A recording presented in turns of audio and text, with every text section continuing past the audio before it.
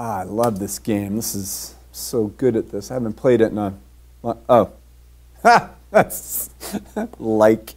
Oh, that's great. And what's going on over here? I've got to get back to that site. Ah, this is good stuff right here. Wow.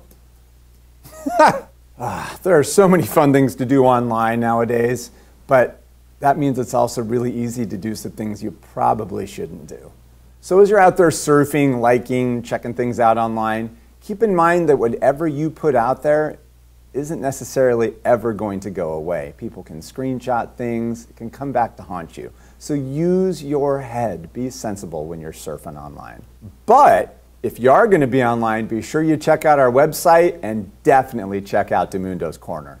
Thank you for watching. Don't forget to click subscribe.